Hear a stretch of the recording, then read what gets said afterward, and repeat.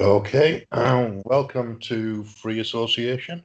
Uh, you're listening to Revolution Radio, and it's uh, it's four o'clock. It's just after four o'clock in the UK, uh, which means it's eleven o'clock on the East Coast in the States. Uh, Free Association is here every Saturday at 11 a.m. on Studio B on Revolution Radio, and uh, on YouTube. I usually post it on YouTube about an hour or so after the show finishes. Um, I'm going to see if I can find other other places to put the show as well. I'm using the show as part of my podcast, so you can find find it on the podcast as well at at uh, radioprojects.podomatic.com. If you miss any of them, they'll they'll, they'll all be there. The archives are on Revolution Radio as well, um, and they're all free. So if I say anything interesting that you want to remind yourself about, those are the places to find it. Um, I don't have a, a topic lined up. I'm in a bit of a strange mood today, so I, so I didn't do topic. Um, I had a, a not very much sleep last night, so I I ended up listening to a blues show, blues radio show at five o'clock this morning, and I hadn't been to sleep. So I fell asleep about six and woke up again about half 12. So I've had about six hours sleep. I've had enough sleep to keep me going, but uh, not in the right place in the day, really. I'd have preferred it to be overnight. Can't be helped though. That's just the way things are at the minute. Um, I'm much more on American time than I am UK time. Partly because Revolution Radio, partly because uh, I'm just automatically tuned to California for some reason. I always have been. I've had like this this connection to California for a long time. I don't know why. Maybe maybe my mother was listening to to the mamas and the papas and and that sort of stuff when I when I was in the womb. I don't know. That would be about the right time, 65, 66, 67. I was born in 65, so maybe Maybe she was listening to that sort of stuff. I don't know, but I've got a connection to California for some reason, and I'm tuned to the United States. So if I've got nothing else to do, my my body clock shifts into US time, and then I find it difficult to get out of US time again. But uh, as soon as I get a job and get working again, I'll have to be up and up and about at nine o'clock in the morning. I won't won't have the luxury of of being awake all night. So I'm discovering discovering new things all the time though, because I've got all this time on my hand when there's nothing else to do. I'm on the internet a lot. And uh, I've discovered Podbean, which is a, a podcasting platform. I do my podcast at Podomatic. I want to talk about uh, the last couple of weeks that I've been posting there uh, just because it's it's where my attention is at the moment. So it might be useful to somebody. There might be something in what in what I've been doing that that somebody can take a useful thing from. So I'll talk about it for 10, 15 minutes and see how we go. Uh, I did have I did have a, a documentary about Hawkwind lined up, and then there's been a conversation in the chat room about bands playing on the back of trucks, which is exactly what Hawkwind did for years and years and years outside of uh, festivals. They they used to do uh, free gigs outside of paid for festivals uh, in in the early seventies. So there's some synchronicity in that. I might play some of that as I go along, probably 20, 20 25 minutes of it, depending on how how long I talk about the podcast, really. So let's let's go for that. Let's see what what I can talk to you about. So I set up this podcast about two, three weeks ago. Didn't do very much with it for the first week. And then I started posting uh, the radio show, my recording of the radio show uh, on there. I decided I was going to do a daily podcast. Now, a daily podcast isn't the same thing as a radio show. So, the radio show is an hour doing something daily. Uh, I wanted to start with something that I knew I could I could make consistent. So I've started with 10 minutes a day as my target for content, which which I don't find particularly difficult to do, and I can I can record on my phone and then just upload to Podomatic, and it's a fairly easy system. So I don't really leave the flat, the house at the moment, for various reasons. But I, I, when I'm out and about, I can record in the park if I'm in the, the park or if I'm sat in Times Square, which is the biomedical centre in Newcastle, then I can record there as well. I found when I was recording radio shows there that the wind distorts my voice, but uh, hopefully I can find a spot in the in the corner where the wind doesn't distort my voice. I'm hoping that that I can do radio shows out there in the summer, but it, it depends on the on the temperature. Obviously, the amount of sunshine and the amount of wind, whether it's going to work technically or not to do the radio show from out there. I've done guest slots before from from Times Square, from the, the Centre of Life, it's what it's called. It's a, a big biomedical centre run by the university here. Um, they're doing anti anti aging research and dementia research and that type of thing. Uh, that's based there, I think. Uh, the university set it up. I think there's two or three universities involved, and they get government funding for the research. So it's a it's an interesting place. I'm not associated with it really because I'm not really a biomedical man. I prefer to do the holistic version, but uh, some of what they're doing is interesting. Anyway, back to the podcast. Uh, I started with with the the intention of doing ten minutes a day regularly and uploading the radio show, which I've achieved for the last two weeks. So that's that's basically what I've done. It's been more than 10 minutes, but I'm doing 10, 10 or 15 minute blocks simply because it's it's easier for people to listen to 10 or 15 minute blocks. It seems to be reasonably attractive to people. Not that I've got a huge amount of listeners or anything, but I went from number 2,100 and something when I first started, and I'm up to number 401 now, and that's in two weeks of regular posting. So there's about a hundred people either downloading or playing the, the podcast every day, which I think is all all right for for two weeks' work. I think that's pretty good for two weeks' work. And I've got some of the numbers here. I'll describe what Podomatic gives me as statistics because it's interesting what they're giving me, and it, it's exactly the right statistics for me. So on the on the analytics page, they gave me they give me the number of plays, the number of downloads, the number of likes, and the number of embeds. So the number of people that have copy pasted the podcast so they can do it on the, on their own site or whatever. It gives me the number of playlists, the number of followers. Actually, I've lost a follower from yesterday, but I, but there was there was only one there anyway. So uh, the number of comments, the number of visits to the page, and then it gives me an overall rank and a category rank. Now, so I didn't have in, any real targets for the downloads and plays, likes, embeds, playlists, none of those things I had targets for. But in my head, when I started, I decided I wanted to be num- in the top five of the category that I chose. I chose the spirituality category even though it's a it's quite a broad podcast, I'm not limiting myself to spirituality on the podcast. But uh, I chose spirituality as a category and decided I want to be in the top five. And I'm I'm not worried about the overall rank as long as I can get into the top five in spirituality. Then then I'm a happy man. Very happy man, in fact and I'm at the moment I'm in at number twelve, so that's in two weeks. So I'm getting quite close, which is why I'm excited about it and why I want to talk about it, because it's something that's uh, it's the right time for me to be doing this. That's what it feels like.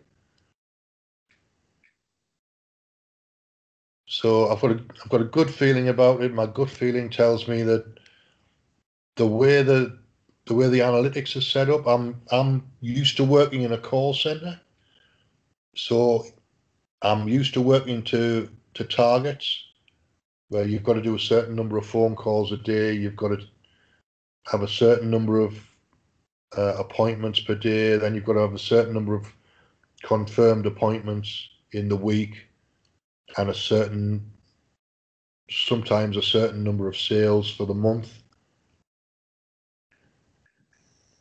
Uh, so I'm used to, I've been given targets like that for years in the call center.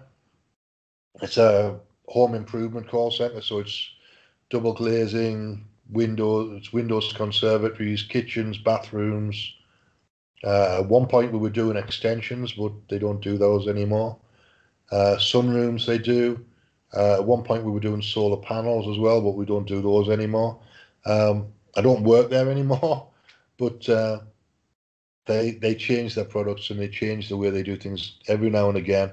The product mix changes, and then they the way the commission structure works and the way the targets work changes when the products change. So I'm used to I'm used to working to targets is kind of the point I'm making. So in my head, I think in that way. So when I start a podcast, I need to set a target so that I can make sure that I'm being consistent, persistent, and getting some kind of momentum going with it. And if I can see, I can see in the figures that there's momentum there.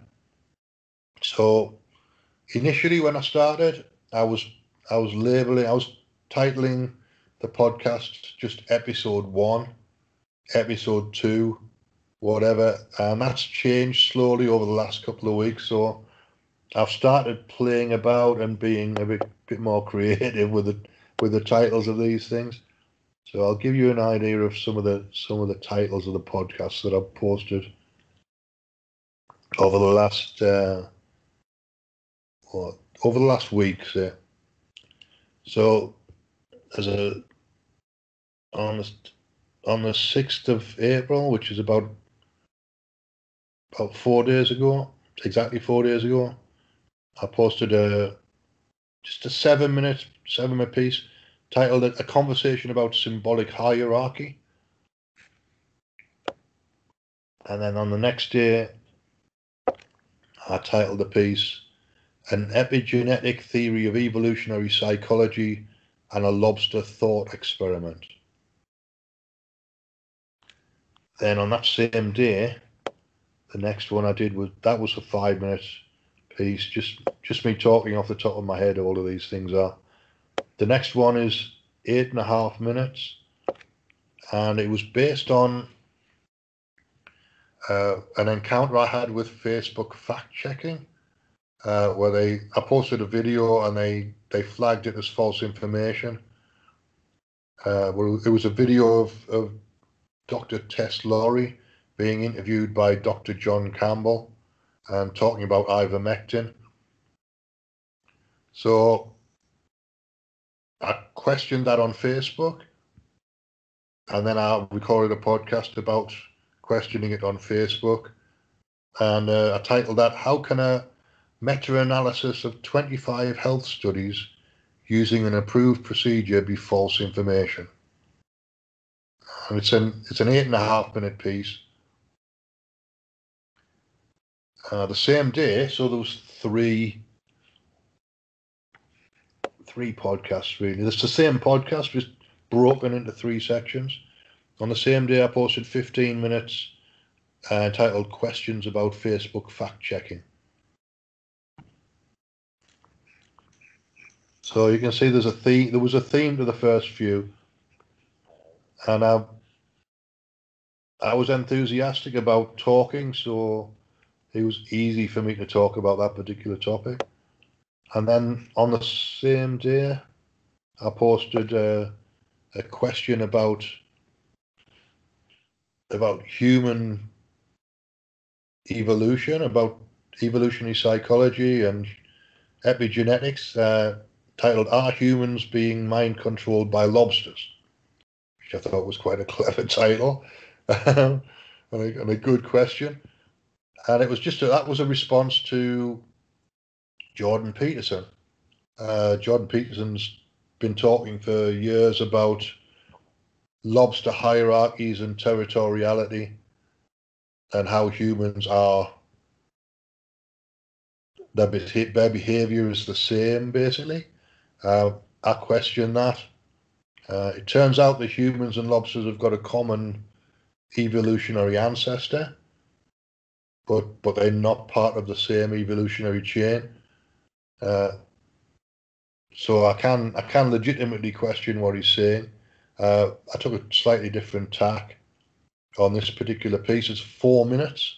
So it was just me speaking off the top of my head, asking a question about whether Jordan Peterson was was accurate or not. Uh, and that it, part of that part of the thought process that brought that up was me watching Teen Wolf endlessly for the past three months or whatever it's been. I've got through six seasons now. I just finished season six yesterday. And uh, the wisdom of Teen Wolf has been highly influential on me for the last three months. Uh, I've enjoyed it immensely. Uh, entertaining Hawcombe is the best way to to talk about Teen Wolf. Anyway, so that particular podcast got 19 plays and five downloads. So not a huge number. None of these things are huge numbers. The Epigenetic Theory podcast got 26 players and 18 downloads. Well, you, have got to remember this is in two weeks, so it's that's not bad for two weeks. That's uh, what's that? 36, 44, 44 interactions. for for a five minute piece. So with with the the idea of doing 10 minutes is that I can I can structure things very and be very targeted, which means that I can use targeted headlines and targeted hashtags on each section. So it's like doing a radio show, but doing it in four sections in effect, and that's that's really what what this podcast builds up to be. So it's over over three days or four days.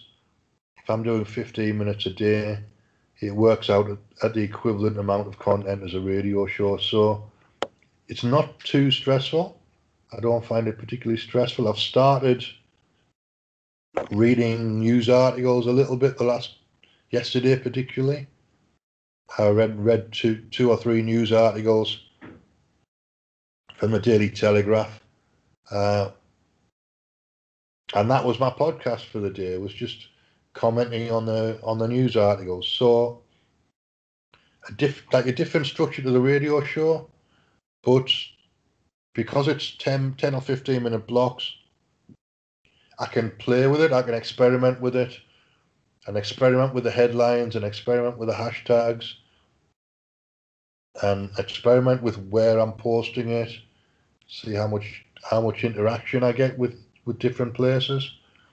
So the numbers are the key to the whole thing, really. Uh, which brings me to Pythagoras. Pythagoras, but by, way of podcasting.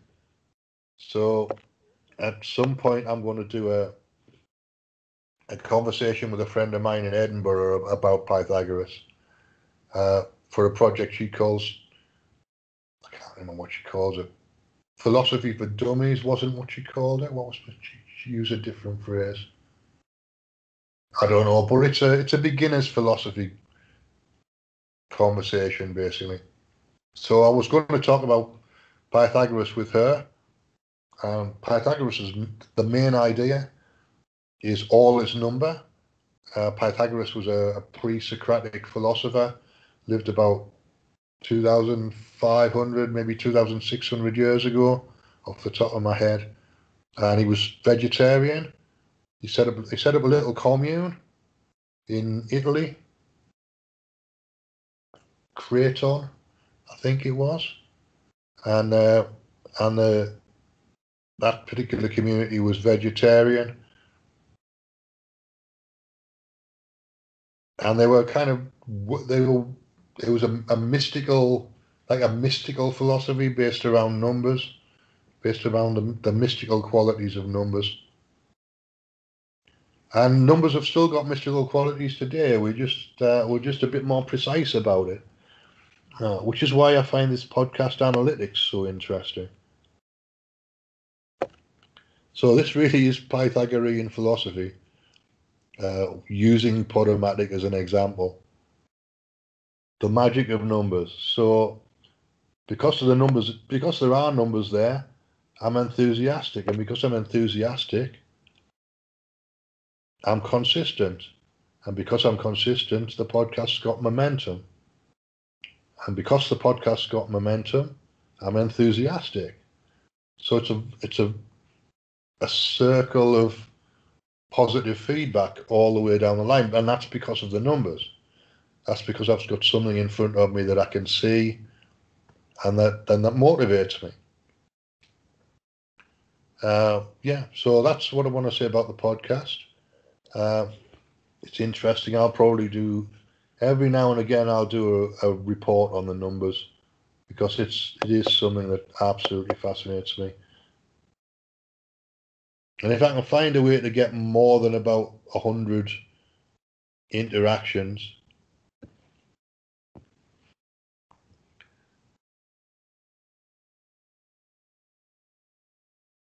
then then I'll be happy. I've, i have got to raise. I've raised my target to 200 interactions.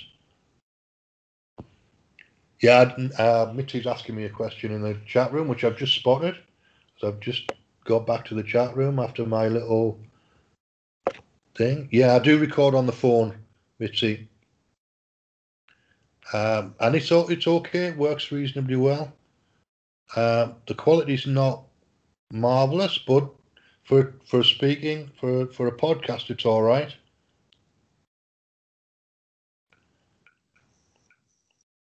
And I, am in I'm in my my apartment anyway, so quite often I've got the neighbours are a bit noisy sometimes, and I've had uh, I've had workmen uh, changing doors. They're changing the front doors on the apartments.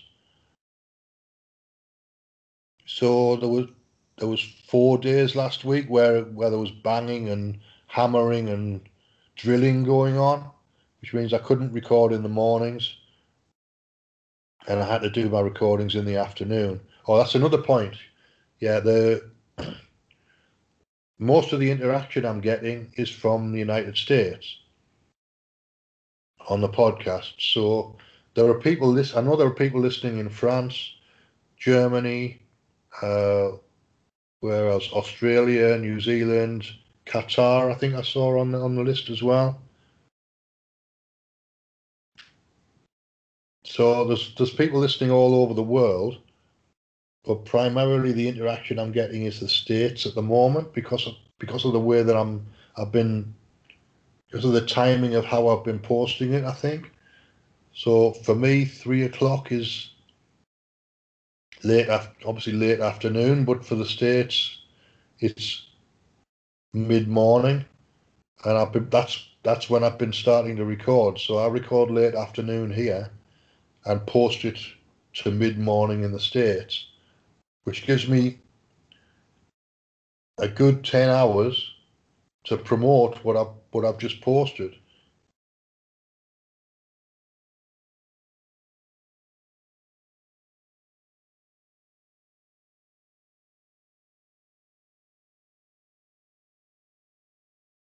Yeah, you can record on the on the phone, Mitzi. It's uh, the, there's not very much bass comes through recording music. I've used my phone to record music off and on for years and posted on YouTube, but it's uh, it tends to knock out the bass and there's too much treble on there. But it's all right for it's all right for speech. Definitely, I would use the phone for speech. All right, let me let me post the the link. Now that I've been talking about it for half an hour, I should really post the link, shouldn't I? So let me do that. I just remind people that Revolution Radio is listener supported. Uh, we're all volunteers.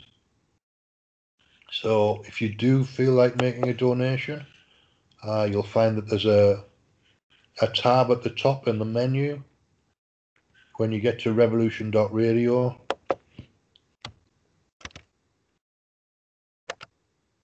So, and I've just posted the link to to my podcast in the chat room. If anybody wants to have a look, feel feel free.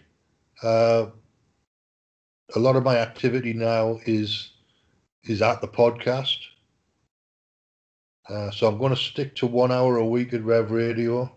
I was going to I was to open up Rev Radio, but for the moment, I think I'll go. I'll do the podcast because I'm I've got enthusiastic now that I've tested it, and I, I want to do things that I'm enthusiastic about that I'm that I'm not hitting resistance to. And and there's a clear run with the podcast. I've got the numbers, and I know how I wanted to go, and it's just a matter of promoting. One thing I learned by one thing I learned from from the home improvements industry is that, that doing the doing the actual home improvements is only about forty percent of the business, and the other sixty percent of the business is marketing. They've got a huge marketing operation. Obviously, the call center. Uh, they do TV advertising. They do radio advertising. So sixty percent of the business is is marketing, and forty percent is actually dealing with fitting the fitting the products. So I think podcasting is probably about the same. It's about forty percent recording the audio and sixty percent marketing the marketing the podcast. At least that's that's how I'm looking at it at the moment. Until I get some actual figures, I'm just taking the figures from home improvements and kind of moving them over to podcasting as a place to start. And then when I get the actual amount of time that I'm spending in marketing and the time I'm spending in recording as a percentage, then I'll know exactly what it is.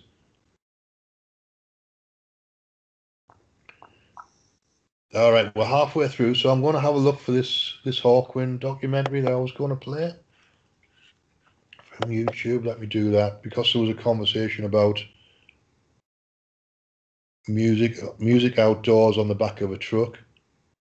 It seems appropriate that I that I can play this because I was thinking about playing again, playing it anyway. So let's see what I can't remember what it was called, but if I just put in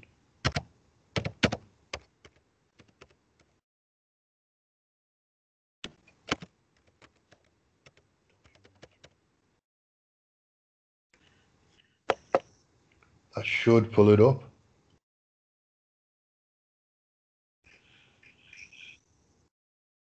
Yeah, there was one F bomb about four minutes in. So what I'm going to do is try and try and talk over the top of it. Let me share my.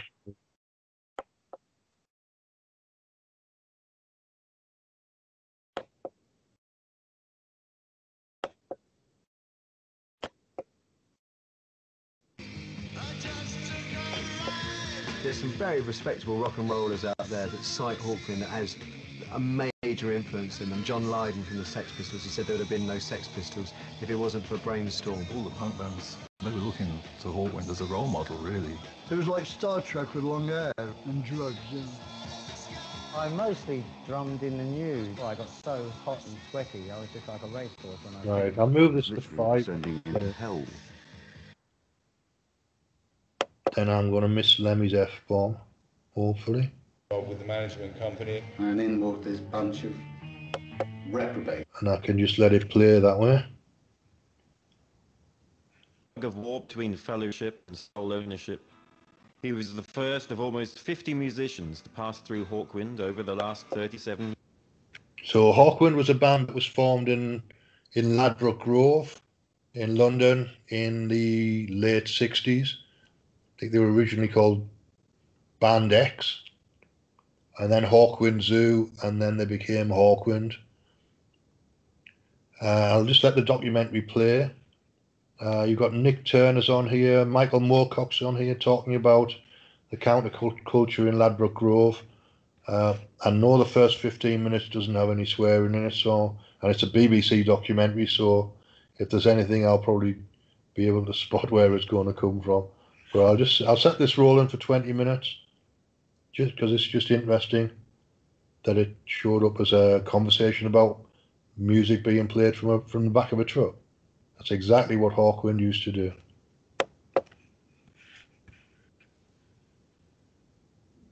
Years.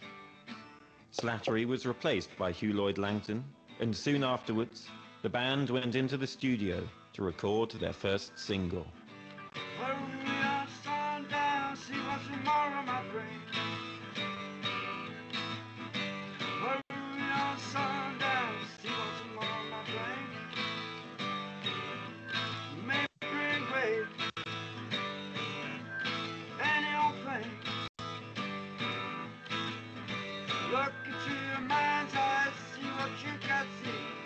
Because there was a cult following that had built up by that. Point, they sold records that sort of went, oh, this, this looks interesting. Maybe we'll make an album. For the first album, I think, had this captured the spirit of the band the most. For at the time, just played live in the studio pretty much. The first album.